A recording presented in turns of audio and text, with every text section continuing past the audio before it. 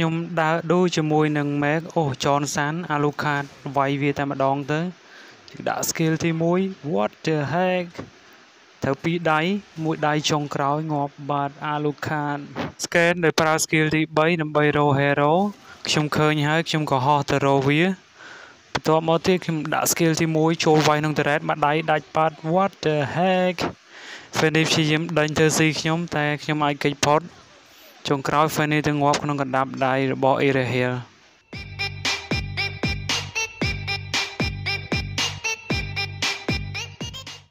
អត់ស្វាគមន៍ការចូលមកដល់វីដេអូទី2របស់ខ្ញុំថ្ងៃនេះដែលខ្ញុំនឹងធ្វើការលេងនៅ Eldo សម្រាប់វីដេអូទី2របស់ខ្ញុំអញ្ចឹង item ដែលខ្ញុំ build ដំបូងគឺខ្ញុំនឹងធ្វើការទិញកំបិត farm មួយ Hello bye ខ្ញុំ comment អឺត្រូលពួកគេលេង អញ្ចឹងចំពោះ item ផ្សេងទៀតខ្ញុំនឹងធ្វើការទិញទៅតាម recommend ដែលខ្ញុំកំណត់នៅក្នុងអឺអឺនៅក្នុង shop អញ្ចឹង item ដែលខ្ញុំអឺកំណត់ជា priority គឺអត្ថភាពមុនគេបានន័យថាខ្ញុំនឹងធ្វើការទិញ item នោះមុនគេ គឺខ្ញុំនឹងទិញកបិតសម្រាប់ farm មួយសិនបាទអញ្ចឹងខ្ញុំនឹងធ្វើការ clear មាននាននៅ terrain ខាងក្រោម land ខាងក្រោមអញ្ចឹងខ្ញុំអត់ទាន់បុកទេដោយសារ item យើងនៅតិចខ្ញុំព្យាយាមស្លាប់មាននាននៅពេលដែលឈាមសល់តិចខ្ញុំប្រើ skill ទី1ដើម្បីវាយផ្ដាច់ចឹងពេលនោះខ្ញុំនឹងអាច row stack បានចំនួន3គឺមួយដៃខ្ញុំអាច row stack បាន3បានលឿនមែនទែនខ្ញុំតេស្តជាមួយនឹង Johnson និង Alucard ខ្ញុំទប់ thread របស់ខ្ញុំសិនកុំឲ្យវាចូល គឺទប់ស្រួលមែនទែនខ្ញុំគ្រាន់តែដាក់ stand ហើយខ្ញុំប្រើ skill ជាមួយដើម្បីវាយហើយ clear minion ចោលកុំឲ្យមាននានប៉ះ turret របស់យើងខ្ញុំតេស្តតេស្តអូខេអាឡូខាតចាក់ចេញហើយសល់ចនសានខ្ញុំដើរទៅហ្វាមួយសិនខ្ញុំស៊ីអាក្តាមមួយនេះអានេះវាដូចជាសត្វក្តាមតិចដូចជាសត្វចម្លែកបន្តិចមិនដឹងថានឹងសត្វអីទេ តែវាជាប្រភេទគេហៅថាអឺ សត្វសត្វ jungle ឬក៏ប្រភេទ minion minion jungle ឥឡូវ stack ខ្ញុំរកបានទៅដល់16អញ្ចឹង stack យើងមើលនៅត្រង់កន្លែង regen កន្លែងដាក់ឈាមហ្នឹងគឺផ្នែកខាងលើមានរូបដៃពណ៌ក្រហមហើយមានដាក់លេខឥឡូវវាឡើងដល់22 stack កាលណា stack យើងឡើងទៅដល់កាន់តែខ្ពស់អាចឡើងទៅដល់100ឬក៏200បើបាន300រត់ទៅល្អ damage យើងកើន បូកជាមួយនឹង item អាចមួយដៃគឺងាប់តែម្ដង damage អាចឡើងទៅដល់5000ក៏មានអញ្ចឹង hero មួយនេះគឺឡើង damage ខ្ពស់មែនទែនចំពោះ hero ផ្សេងគឺអត់ទាន់មាននៅឡើយទេចំពោះ Eldo មួយដែលមាន damage ឡើងទៅដល់5000គឺច្រើនមែនទែនចឹងជាលក្ខណៈពិសេសរបស់វាគឺត្រង់ហ្នឹងទីមួយគឺយើងត្រូវការ stack ហើយនឹង item ជាមុនសិន ខ្ញុំធ្វើការ farm ហើយចំពោះការ farm គឺយើងត្រូវការ retribution មួយដែលជាដៃសម្រាប់យើង farm វាជួយឲ្យយើងកុំឆាប់អស់ឈាមហើយយើងធ្វើការវាយសัตว์បានច្រើនហើយបានលឿន complete តា skill ទី1យើងសម្រាប់វាយសัตว์នៅពេលដែលឈាមចុងក្រោយ គឺយើងសម្រាប់វាយផ្ដាច់អូខេខ្ញុំដាក់ផ្ដាច់តែម្ដង មួយដៃគឺបាន3 stack ខ្ញុំ scan មួយអូខេខ្ញុំហក់ចូលខ្ញុំឡើងទៅលើវិញគ្នាវាពីរនាក់អូខេ what stand របស់ Johnson stand របស់ Odin ងាប់បាត់ចង្រៃយោអូខេឥឡូវចាត់ទុកថាវាជាការ start game ដំបូងគឺអត់អីទេ យើងមានឱកាស farm ហើយនឹងធ្វើ CV ពេលក្រោយទៀត ជាងរងចាំ7 6វិទៀតទ្រាំតែខ្ញុំកើតវិញអូខេលឿនពីទីនេះលឿនលឿនទេគឺអត់យូរទេ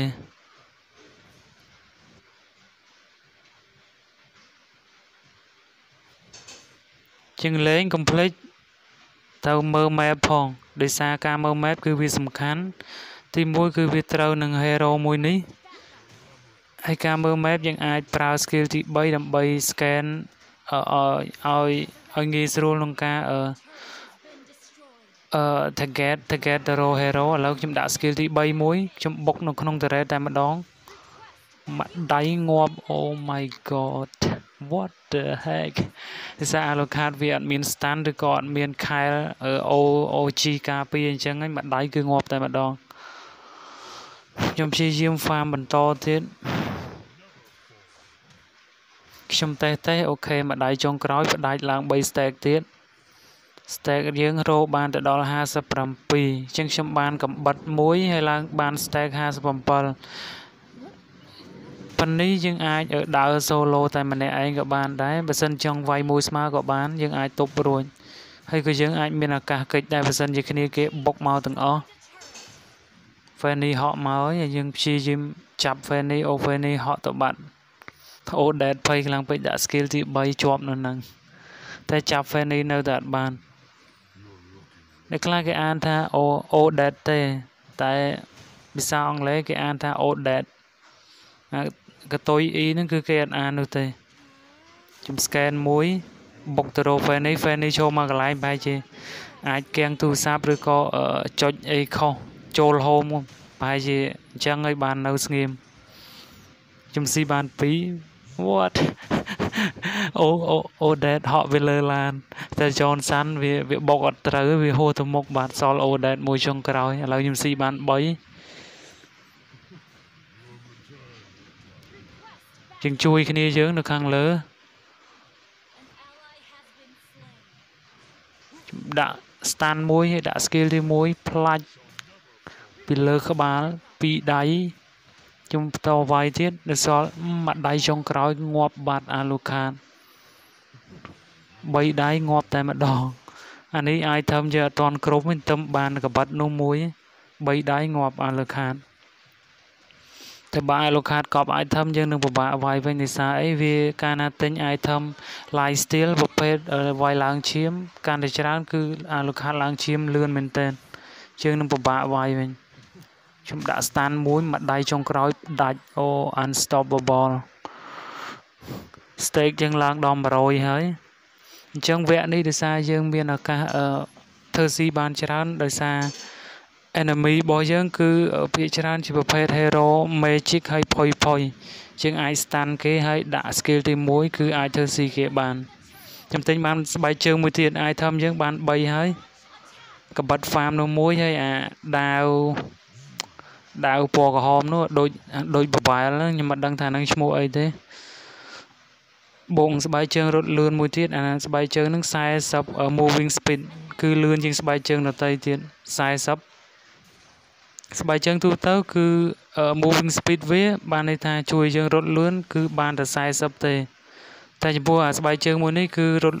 លឿនបានទៅដល់80 moving speed ខ្ញុំ scan មួយទៅ see Fanny នៅ lane ខាងក្រោម ខ្ញុំដាក់ skill មួយដើម្បីចាប់ផ្ដាច់តែម្ដងងាប់បាត់ stun odet មួយដាក់ ultimate skill ទី1 odet.kick roger c បាត់ខ្ញុំដាក់ skill ទី1ដើម្បីដេញ John San រៀងរត់លឿនបន្តិចដាក់ stun មួយ skill ទី1មួយទៀតតេះតេះពីក្រោយដាក់ផ្ដាច់ចុងក្រោយ oh god like ខ្ញុំស៊ីបាន7ងាប់1អាស៊ីស2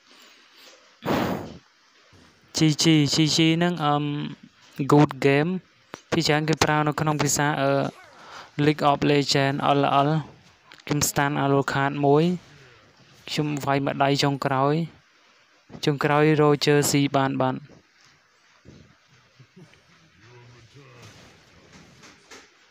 អញ្ចឹងតិចនៃក្នុងការលេងអឺ Eldos គឺងាយស្រួលទេទី1អ្នកទាំងអស់គ្នាត្រូវទិញ អឺសំតោត្រូវ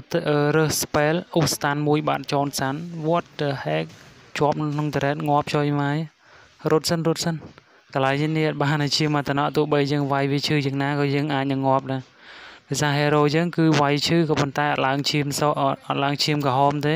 សំតោអត់ឡើងឈាមទេវាបានឡើងឈាមសទប់តែអត់ឡើងឈាមដូចអាលូខាតទេឥ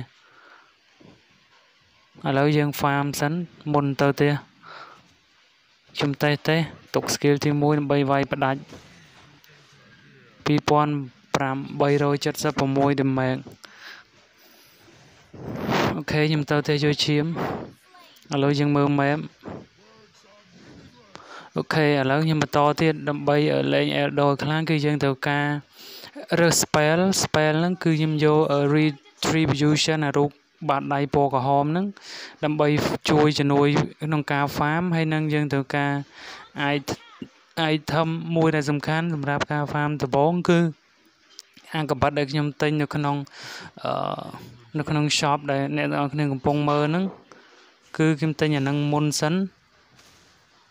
ដើម្បីជំនួយក្នុងការ farm បានលឿនខ្ញុំព្យាយាមដេញចនសានសិន ចនសានឥឡូវរត់អត់រួចទេតែម្នាក់ឯងគ្នាយើង3នាក់ម្ដាយចុងក្រោយ legendary អញ្ចឹងអាកបាត់នឹងគឺសំខាន់ក្នុងការ farm ទោះបីជាយើងងាប់ក៏យើងអាចមានឱកាសនៅ farm ទៀត Oh my god double kill C2 ជាប់គ្នាឥឡូវឡើង3230ជាង damage បើសិនជា stack យើងឡើងទៅដល់300មួយដៃអាចឡើងទៅដល់5000ច្រើនមែនទែន hero ដែលវាយឈឺពីច្រើន damage ខ្ពស់បំផុតអាចឡើងទៅដល់អឺពី2000 2000ជាងទេហើយអាចឡើងទៅដល់3000លើសក៏ប៉ុន្តែ Eldo អាចឡើងទៅដល់5000ចឹងខ្ញុំសូមបន្តទៀតអឺបន្ទាប់ពីយើងទិញកបិត farm ហើយគឺយើងព្យាយាម farm សัตว์ហើយយើងត្រូវប្រើ skill ទី1ដើម្បីអឺ earn earn នឹងរកឬក៏យើងត្រូវរក stack ឲ្យបានច្រើនដោយប្រើ skill ទី1 កាលណា stack កាន់តែខ្ពស់ហើយយើងត្រូវលួចឆ្មក់ធ្វើស៊ីគេបានមួយមួយដើម្បីបង្កើន stack របស់យើងអញ្ចឹងអានេះជាកលឹះសម្រាប់លេង Eldo ហើយមួយទៀត hero ដែលយើងងាយនឹង count ប្រភេទ hero mag ក៏ប៉ុន្តែ hero mag ភាគច្រើនជាប្រភេទ hero ដែលដាក់ stun គឺមាន skill វាសម្រាប់ stun តែម្ដង កាលណាវានៅចិត្តបានន័យថាវានៅ2នាក់ឬក៏3នាក់ឡើងទៅយើងកំចូលដោយសារបើសិនជាប់ stand អាចនឹងងាប់របស់វា យើងគួរតែ scan skill ទី3ឬប្រើ ultimate កាលណាវានៅតែឯងគឺយើងអឺ target ទៅរក hero នោះតែម្ដង ដើម្បីវាយវាឲ្យងាប់មុនពេលដែលគ្នាវាមកជួយអញ្ចឹងជាការយើងអឺអឺ fit បានលឿនលឿនជាងគេហើយមួយទៀតគឺ hero ប្រភេទ Max Maxman ប្រភេទ hero បានដូចជា Mia Layla ឬក៏ Erahil ឯហ្នឹងគឺយើងមានឱកាស count បានលឿនមែនទែនក៏ប៉ុន្តែបើសិន hero ហ្នឹងมันមាន defense ការពារច្រើន គឺពិបាកនឹងទប់បន្តិចខ្ញុំបុកចូលក្នុង turret ដាក់មួយដៃ Oh my god ងាប់តែម្ដងមួយដៃងាប់ Oh dead Fanny Fanny ព្យាយាមរត់អូស៊ីបាននឹង Fanny មួយទៀត មិញចេញពី Direct Fanny ចង់ស៊ីខ្ញុំតែសារអីយើងមានឈាមសការពារមានខែលអូគេ surrender បាទស៊ីបាន10ងាប់1 surrender បាទ GG អរគុណសម្រាប់ការទស្សនាវីដេអូមួយនេះកុំភ្លេចជួយចុច Subscribe ឬហើយចុចលើរូបកណ្ដឹងជាការស្រេច Here we go